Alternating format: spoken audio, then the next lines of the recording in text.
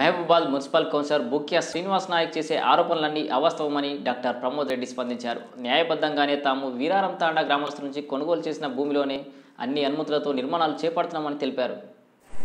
ఈ బుక్యశ్రీని అతను గత పది సంవత్సరాల నుంచి ఆ చుట్టుపక్కల ఉన్న వాళ్ళందరి మీద కేసులు వేయడము దౌర్జన్యం చేయడము భూముల మీదకి పోయి వాళ్ళని బెదిరించి డబ్బులు వసూలు చేయడం బాగా అలవాటైపోయింది. ఆయన వీరారం తండాకు చెందినవాడు ఈ కౌన్సిలర్గా గెలిచినాక కూడా ఈ దౌర్జన్యం రోజు రోజు పెరుగుతున్నది.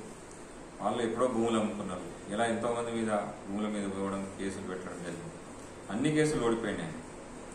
అతను ఎన్నోసార్లు సర్వే చేయించడం జరిగింది. ప్రభుత్వ ప్రతినిధులు ఎంఆర్ఓ కావచ్చు రెవెన్యూ ఆఫీసరు సర్వేయర్స్ మండల సర్వేయర్ డిప్యూటీ సర్వేయర్ వీళ్ళందరూ ఎన్నోసార్లు సర్వే చేసి అతనికి భూమి లేదని రిపోర్ట్ పంపడం జరిగింది.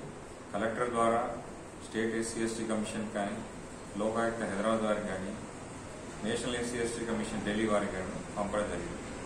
అదే ఎన్నిసార్లు కో- కోర్టుల కేసు ఓడిపోయినా కూడా మళ్ళీ మళ్ళీ సర్వే పెట్టించడం ఒక ఆరాచకం సృష్టిస్తున్నాడు అక్కడ. మేము అన్ని సర్వేలు చేయించుకొని నాళాలు కట్టేసి ఒక డాక్యుమెంట్ ప్రకారం పద్ధతి ప్రకారం గత పదిహేను సంవత్సరాల నుంచి ఉన్న భూముల మీద ఎంతో ఉత్తమమైన భూములు మేము దాని మీద లోన్లు కూడా తీసుకున్నాము. అరవై సంవత్సరాల నుంచి పానీ ఉన్నాయి? అలాంటి భూములకు అభియోగం నడుపుతూ టూ సెవెన్ నైన్ భూమి నాది ఉన్నదని చెప్పడం జరిగింది. ఏదైతే టూ సెవెన్ నైన్ ఆయన భూమి ఉన్నదని చెప్పడం జరిగిందో ఆ భూమిలో ఉన్న ఆరు ఎకరాల ముప్పై నాలుగు మొత్తానికి మొత్తం అమ్ముకున్నాం ప్రస్తుతం పానీలో ఒక పద్దెనిమిది గుంటలు మాత్రమే పానీలో ఉన్నది. ఆ పద్దెనిమిది గుంటలు ఆయనకి ఏమైనా ఉన్నదనుకుంటే రెవెన్యూ వారిని కానీ ఇంక వారిని పై అధికారులను కానీ సంప్రదించి ఆ పద్దెనిమిది గుంటలు ఎక్కడ ఉంది? ఉన్నదా? లేకుంటే భూమి కింద రోడ్డు కింద పోయిందా? లేకుంటే కాలువ పోయిందా?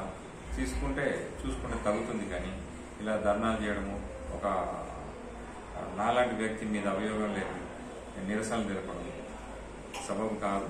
దీని విషయంలో మేము డిఫెమేషన్ కేసు కూడా వేయాలని ఆలోచిస్తున్నాము.